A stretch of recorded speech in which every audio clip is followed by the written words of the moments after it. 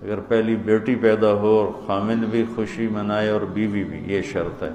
तो आसमान से एक फरिश्ता उतरता है जिसके सब्ज जमरुद के पर होते हैं। वो उस बच्ची पर, उस माँ पर ऐसे पर बिछा देता है और कहता है कि तू भी कमज़ोर है, जिसको तूने जना है, वो भी कमज़ोर है। जो तुम दोनों पे खर्च करेगा, अल्लाह उसका साथी हो जाएगा। बेटा पैदा हो तो कोई फरिश्ता नहीं आता। बेटी पैदा हो तो यूँ फरिश्ते नाजिल होते